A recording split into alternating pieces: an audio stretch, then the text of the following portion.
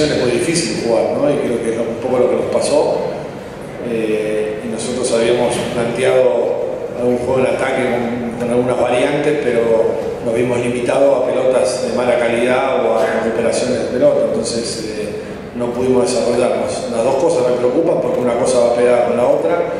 Creo que tenemos que retomar de vuelta y trabajar más todavía eh, en el origen del juego, o sea, nuestras formaciones fijas fundamentalmente y también creo que nos faltó mucho hoy la reacción ante una pérdida de pelota. Creo que ahí estuvimos eh, muy poco reactivos y muy, lentos. Entonces el equipo inglés realmente cuando estábamos en su campo, perdíamos un line-out que puede pasar, perdíamos por ahí, nos dominaban en el scrum, pero lo que venía posterior a esa situación tampoco estábamos de buena forma. Entonces creo que son los puntos claves que, que es necesario corregirlos inmediatamente para poder desarrollar el plan de juego como pretende.